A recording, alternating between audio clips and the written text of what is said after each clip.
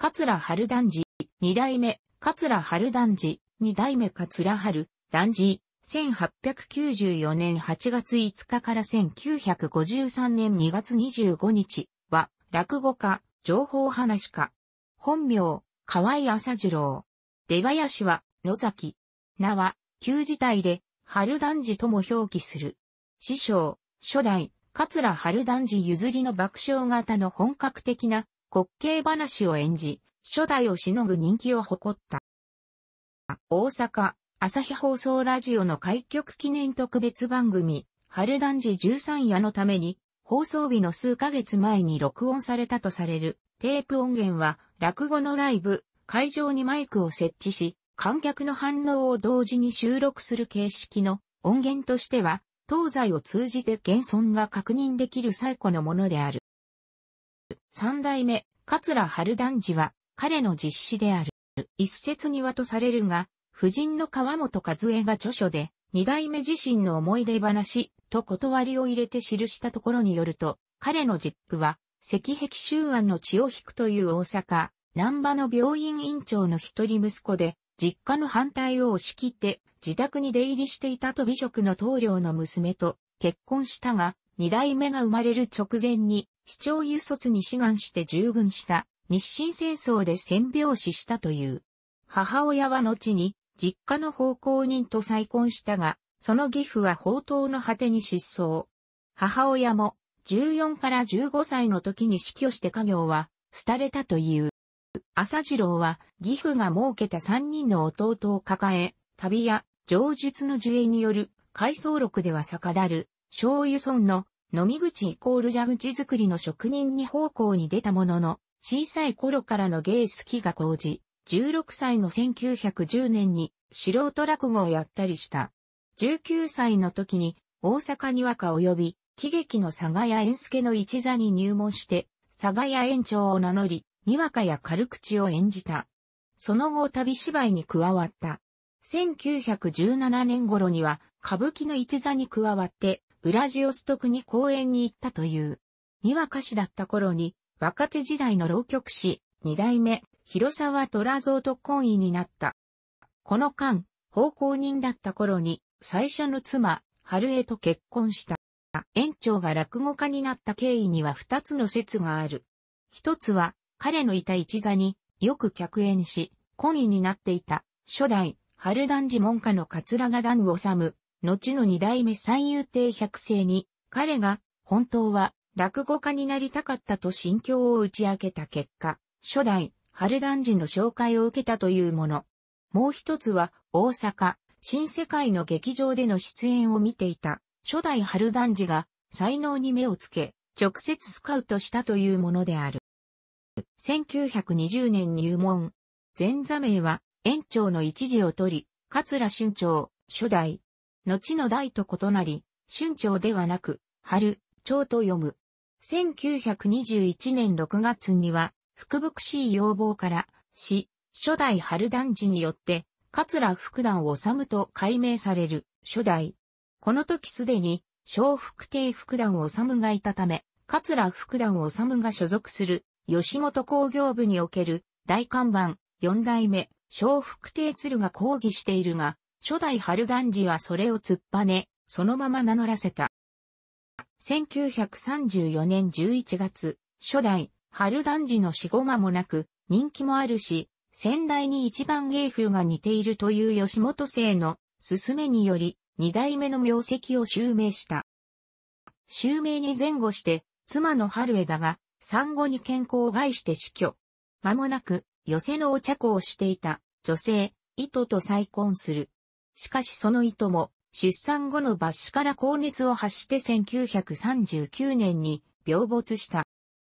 襲名に際し、初代が吉本に対して残した多額の借金も相続したとされるが、夫人の受演医は、後にこの伝説を訂正している。日中戦争の影響で、寄せ工業が減ってきた1939年から1940年頃、二代目は吉本工業部の更新、吉本工業に師匠がそうしたように全国を巡業して回りたいと申し出たところ、経営する寄せでの出演が減少することを良しとしない。吉本が期限を切ってならともかく、巡業中心で、その合間に寄せに出るというのは専属契約解除に等しいと認めず、そこで初めて初代の借金を持ち出し、巡業阻止を図ったものだという。この吉本との確執は裁判沙汰となり、二代目は長らく、京阪神、東京、名古屋、静岡など大都市圏の寄せや劇場に、桂春団次の名で出演することができなくなった。二代目は漫才師、浪曲師、記述師などと一座を組み、戦後にかけて地方を巡業して自主工業を行った。手塚治虫は漫画家としてデビューする前の1945年頃、二代目が地方での自主工業を行う際のポスター画を提供した。ポスターは宝塚市立手塚治虫記念館に展示されている。進行を重ねるうち、二代目は手塚の漫画家志望という進路を案じ、落語家になるよう進めた。1946年の九州巡業の際には、実施の始めが荷物持ち兼雑用係として同行、博多で急病を発した漫才師の代役として舞台に上がり、聞き覚えのより愛主を演じる。この経験により一は落語に興味を抱き、翌1947年3月に二代目に弟子入りして、桂小春を名乗ることになる。私生活では1944年2月に、広島市の料理屋、小松の娘だった川本ジュエイと三度目の結婚をする。ジュエイの父は、素人芝居を結成して公演を行い、その際二代目を招いて交流があった。1945年末に吉本との訴訟が一段落し、京阪神の寄せに復帰。南の恵比寿橋松竹や京都、新京国の復帰亭などに多く出演した。五代目小福亭上閣に反目した漫談家の丹波家九里丸に誘われる形で、1948年3月に当時情報落語家が結集していた恵比寿橋松竹を脱退して何は新生三遊派を旗揚げする。妻の川本和恵によると、二代目は、何は新生三遊派に加わるに際して、寄せが増えてきたら、吉本さが手を出しはるやろう。そうなった時も芸人の泣かされる、中間搾取は許したくない。東京のように芸人は、芸人同士で手を握ろうという考えを持っていたという。しかし、キュウリ丸がトラブルを起こしたこと等により、芸人が少しずつ恵比寿橋松竹に戻り、最後は若手落語家グループ、さえずり会の仲介。この時、二代目は実施の桂小春から説得を受けたにより949年4月、両派が合同して関西演芸協会が設立され、元の鞘に収まった。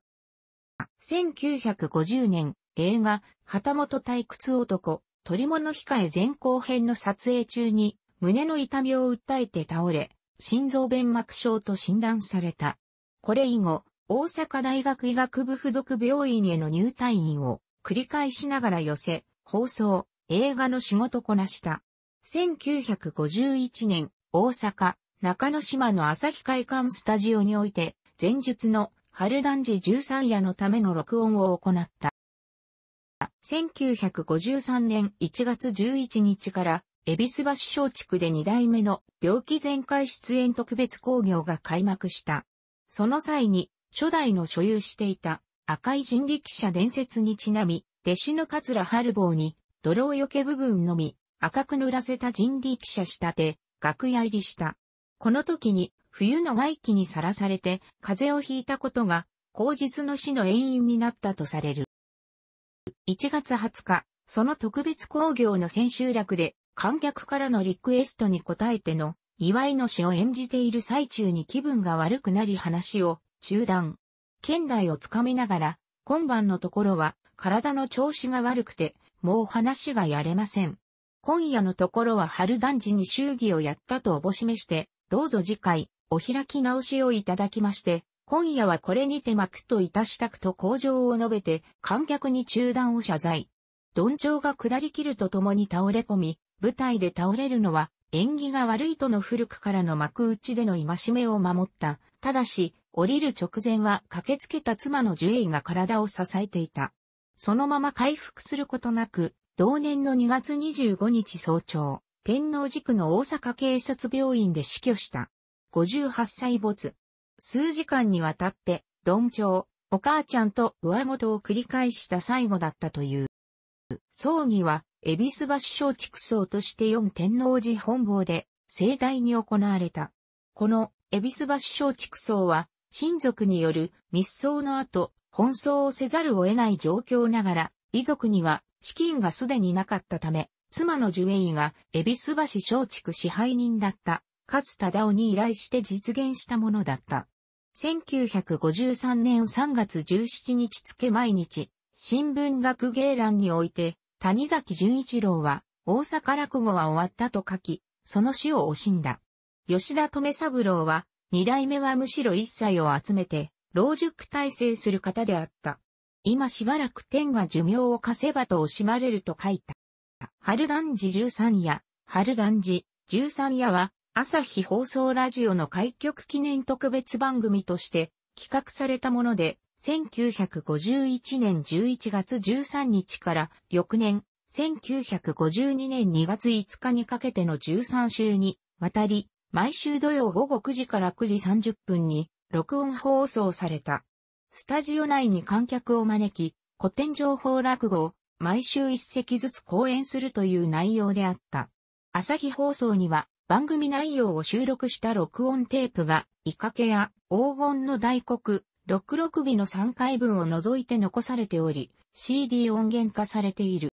二代目は、妻の川本和恵、マネージャーを兼務していたが、お囃子の仕事で外出中に独断でオファーを受けてしまった。心臓弁膜症を抱えた状態で、13席の異なったネタを客前で連日録音するような高負担の仕事をさせられないと感じたことぶき久しは一度オファーを断っている。しかし、朝日放送から1回あたり3万円のギャラを提示され、当時の芸の放送出演料最高額は、初代柳家三木松の30分あたり2万円が最高額であり、それを上回った出演契約が成立。日本一の小芸人として録音に臨むことになった。ただし、川本和恵は回想録で、3万円というギャラは自分から朝日放送に提示したと述べている。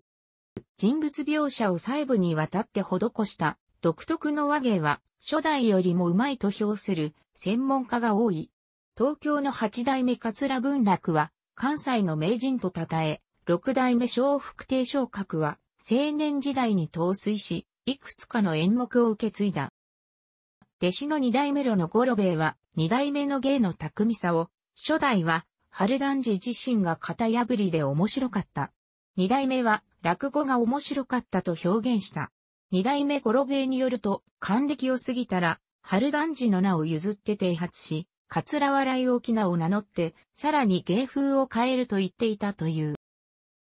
出林、野崎については、以下のエピソードがある。実施の三代目が入門する前には、桂段治、桂春寺、桂春学、漫才に転じた、桂春雨、1964年生まれの同名の、話し家とは別人。リンク参照がいた。身長160センチメートルに対し腹回り150センチメートルというタンク肥満の体格で、息子の三代目春団治は、とっくりみたいな体つきと形容した。三代目、春団治の弟子によると、腹回りがあるので大きく見えたが、実際は三代目よりも身長は低いとのこと。戦前は南森町交差点の一角に小さな飲み屋を経営。寄せが終わると店に行き、自ら魚をさばいて客に振る舞った。子息の一の健康を案じて、宝塚市、当初は中山寺近く、ついで、清志工人に住まいを移した時にも、そこで、お茶屋、春団寺茶屋を太平洋戦争中に廃業するまで開いていた。中山寺から清志工人に移ったのは、中山寺には妊婦しか参詣せず、二代目が好んだ、行き筋の女性が来ないというのが理由だったという。楽しくご覧になりましたら、購読と良いです。クリックしてください。